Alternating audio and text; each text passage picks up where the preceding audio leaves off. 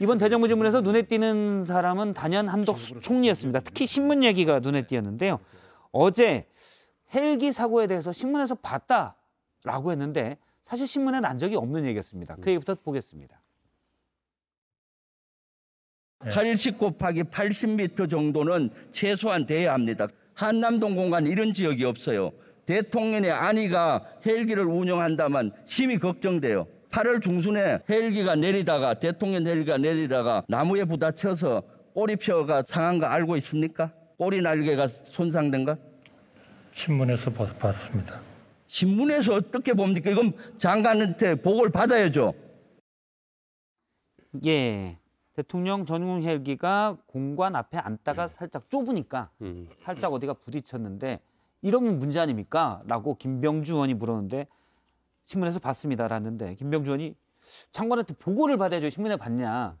뭐 김, 김 의원도 아마 신문에서 본 줄 알고 얘기했어요. 그렇죠. 신문에 뭐 신문에 이 사실은 예. 있으니까. 예. 이 사실은 난 적이 없습니다. 근데, 음. 보도가 기자들이 놀라서 찾아봤을 때, 어, 놓쳤나 내가? 보통 기자들이 이럴 때 물 먹었다고 표현하거든요. 네. 나도 모르는 이런 일이 했는데 나 기사에 난 적이 없었습니다. 보도가 없었는데 대통령 헬기 사고를 총리는 신문에서 봤다라고 얘기해서 저희가 궁금한 건 그러면 한덕수 총리는 어떤 신문을 직접 보실까? 미래 신문?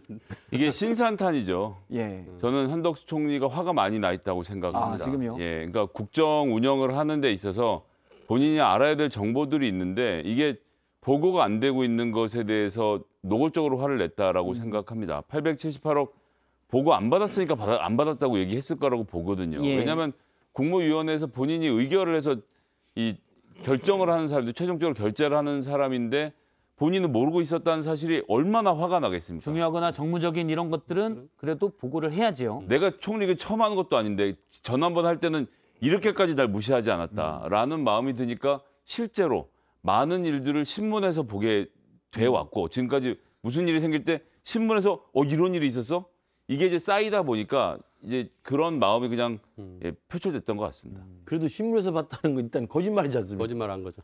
아니 뭐 착각했겠죠. 설마 일부러 거짓말. 지금 근데 내가 나한테 보고 안 한 착각했다. 내가 네. 나한테 보고 안 안 한 한건다 것이 신문에 너무 나왔던 많으니까 거다. 아니 나한테 보고 안 한 것이 너무 많으니까 일단 신문이라고 핑계를 댔겠죠. 예. 뭐 어지간한 읽은 거는 그냥 신문에서 읽었다 이렇게 뭐 착각했겠죠. 설마 근데 이게 그렇게까지 이제 했겠습니까? 저는 뭐 총리의 문제이기보다는 그러니까 이제 이 내각과 대통령실의 어떤 문제가 아닐까 싶어요. 그러니까 지금 그 영빈관 짓는 그 예산도 대통령실에서 책정해서 넣는 거거든요. 그러면은 예. 당연히 대통령실에서 이런 내용들을 보고를 해줘야 되는데 보고를 안 했을 거라고요. 그리고 지금 대통령실에서 벌어진 또 헬기 그 사고잖아요. 근데 그것도 보고를 안 하는 거죠. 그러니까 이게 대통령실과 내각과의 소통이 이루어지지 않고 있다라는 걸 지금 보여주는 단편적인 사례들이 나오고 있는 거예요. 근데 제가 예전에도 이 자리에서 말씀드렸는데 청와대를 용산으로 옮긴 거 자체가 물리적인 공간을 옮긴 거이기도 예. 하지만은 이게 시스템 자체가 완전히 옮겨간 거거든요. 그리고 대통령이